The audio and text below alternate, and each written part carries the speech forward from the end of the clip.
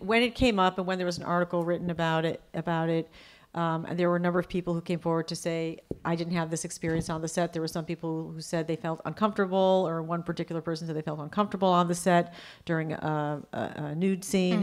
Um, and i don't know if, if that surprised you that that that like these people came to you and you said, "Well, I don't agree," or is it um, No, I had no time because I was so busy that I, nobody even had time to come to me? Like, I knew that I'd had a falling out with a friend who took professional feedback personally. Like I knew that had happened. Um, and so part of me is like, so as I'm going through this process now, is what makes a good leader and what makes a good manager.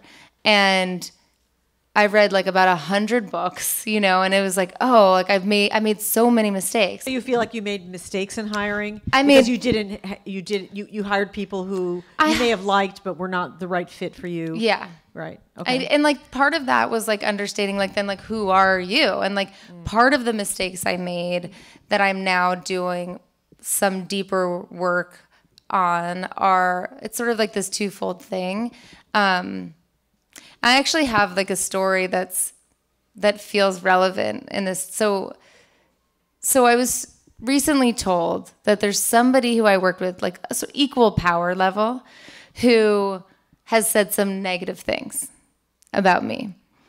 And I heard it from a few people in town. And what you'll also know is this town is very small.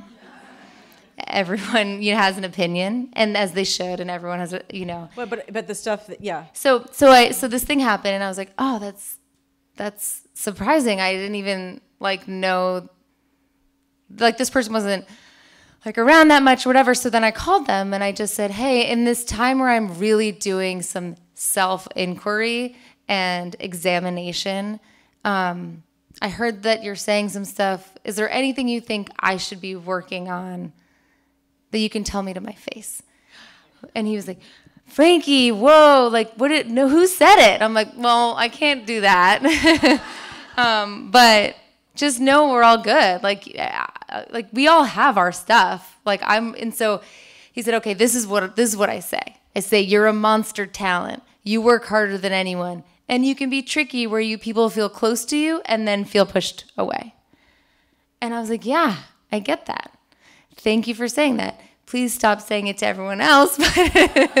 now that there's a spotlight on my back. Do you feel you want to apologize? Do you feel that you were mis? Oh, I- uh, uh, there's- un- uh, you were yeah. treated unjustly. It's like the world. You know, you have you're accountable to you. It sounds like very much you're accountable to you. But I'm just asking you. Yeah, I mean, the biggest thing that, that I'm looking at is the ways in which what were what was my part and how not to repeat any pattern, right? So like this thing that I heard from this person was really enlightening to me because what I realized was in and this is some of the work that I'm doing that does apply because I think we all grow up in the homes we grow up in that dictate then how you approach your job.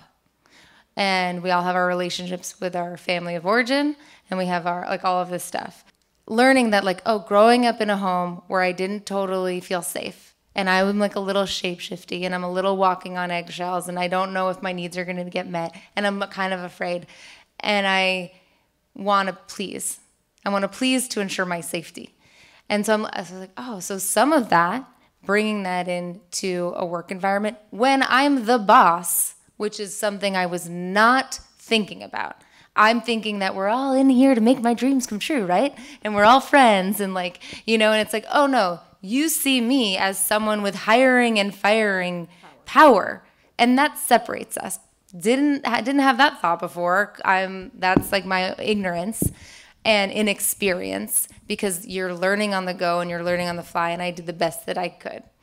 So so with that in mind, there's some there's like a little bit of in, inauthenticity. If I'm like gonna like be a little people pleasy, but then the other part of me is like I'm from Boston and I'm an athlete, and if I have a goal, I go for it, and I have a high standard of work.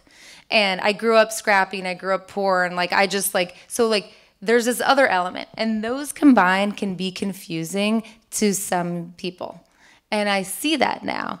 You might expect nurturing from me that then I'm like busy doing this thing, or I might have through our interaction made you feel a certain way and then not be available, or I may have not explained why and how I'm doing things, and you can interpret it a different way. And now I see all of these things that I just didn't I didn't know and couldn't have known. So there's part of this whole process is like if because I just told you I lived through my worst nightmare. Like there was a version where like I just said, "Okay, bye Hollywood, I'm going to go to bed," you know? But it's like it's this reason like to share this, which is why. Like I don't need to do any sort of like tit for tat, defend any of that. All I can do is like this is what I learned and this is how I can pass it on and hopefully it helps somebody.